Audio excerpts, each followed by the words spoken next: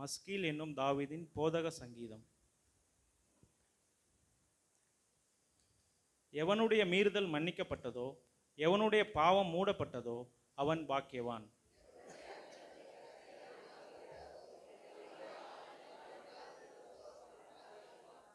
நான் அடக்கி வைத்த மட்டும் நித்தம் என் கதறுதினாலே என் எலும்புகள் உலர்ந்து போயிற்று.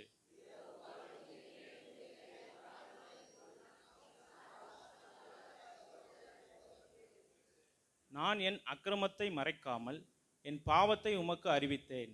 என் மீறுதல்களை கத்தருக்கு அறிக்கையிடுவேன் என்றேன். தேவரீர் என் பாவத்தின் தோஷத்தை மன்னித்தீர்.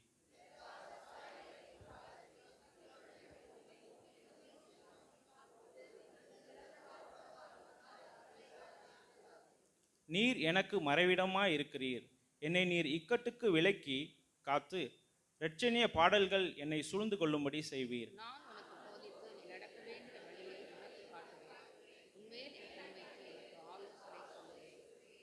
வாரினாலும் வாரினாலும் கடிவாளத்தினாலும் வாய் கட்டப்பட்டாலொழிய உன் கிட்ட சேராத புத்தி இல்லா குதிரையைப் போலவும் கோவேறு கழுதையைப் போலவும் இருக்க வேண்டாம்.